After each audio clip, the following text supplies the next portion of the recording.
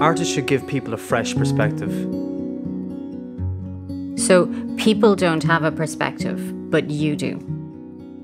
Behan said that other people had nationalities, that the Irish and the Jews had a psychosis. Brendan Behan wouldn't exactly be the greatest example of a keen perspective, would he? Perspective. You do know what he said about critics. Yeah. Okay, we leave it there. Thanks, Ed. This going to be another one of your hatchet jobs, is it? You tried was a long time ago, Ed. Wouldn't need a hatchet to take you down now. I don't need the big audiences like you do. Not so big anymore.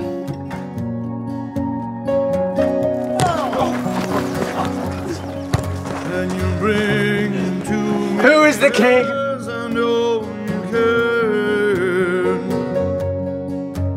I will wait right here till morning when you do. It's good to see you. Yeah, you too. Then you bring him back.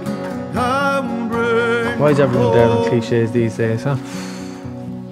Because they're boring. Because people want something new and original. Original things can be boring too. What is it you want from me?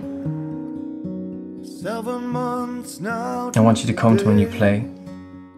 He's left And when you walk away from it, I want you to tell me that I didn't pour myself into it. a western. So, Ed, what's your new play about?